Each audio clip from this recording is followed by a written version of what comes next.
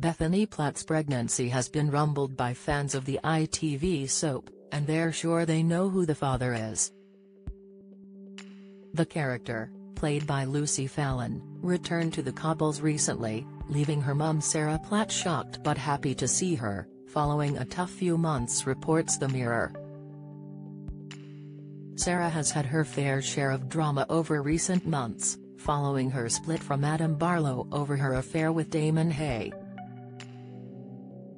Alongside dramatic relationship drama, Sarah has also been experiencing trouble with her family after her uncle Stephen Reid was outed as a serial killer and subsequently died when Peter ran him over in shocking scenes last year. On her return, Bethany was quick to get embroiled in a love triangle, sleeping with Daniel Osborne on her first night back and starting a feud with his ex Daisy Midgley.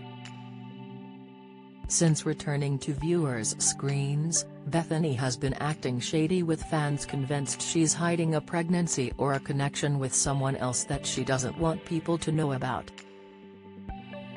Viewers of the show are certain Bethany is playing a dangerous game with Sarah's ex Damon Hay, who recently also returned to the Cobbles in a bid to take revenge on Adam and try and get back with Sarah.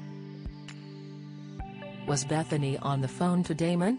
One wrote, whilst a second added, what's the betting Damon tries to get it on with Bethany to get back at Sarah. A third shared, Bethany and Damon maybe? There's no way Sarah would be okay with that. She would never speak to Bethany again, as a fourth wrote, mark my words Bethany and Damon are dating and she's pregnant with Damon's baby.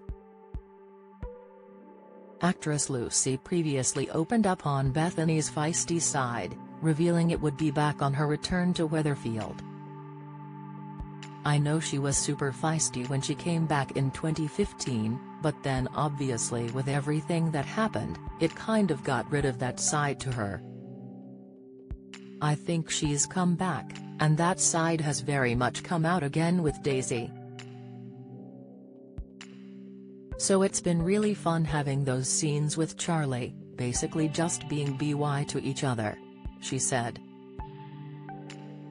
Daisy is a strong female character, and Bethany is also a strong female character. I feel like they're going to clash, and also obviously, they both want the same thing. I think Terry's going to be a bit of a power battle between them both. But I also think that I can't imagine Bethany, with everything that she's been through in the past to do with men, the stuff with Nathan, I don't see her just being out to get another woman or another girl on the street for a long period of time. So I'd like to think eventually they would be more friends, rather than hating on each other like they are at the moment.